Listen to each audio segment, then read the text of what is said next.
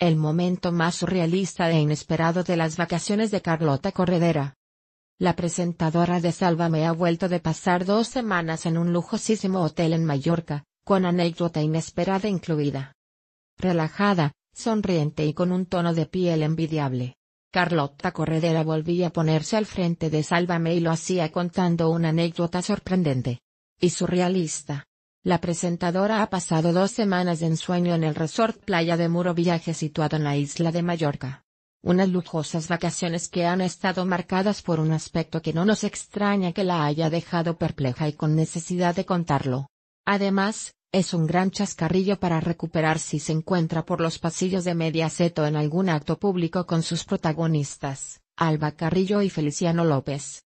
Carlota, su marido Carlos de la Maza y su hija Alba han pernoctado en la misma habitación en la que lo hizo Alba y Feliciano cuando aún eran una pareja unida y enamorada.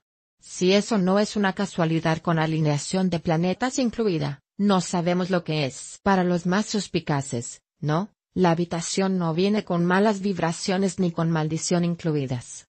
La presentadora de Telecinco y su familia han tenido una estancia maravillosa y ha querido agradecer el trato recibido por el personal del hotel a través de su Instagram. Esta ha sido mi casa las dos últimas semanas. Se acabaron las vacaciones en Mallorca, pero quedan los recuerdos felices, gracias al maravilloso personal del hotel.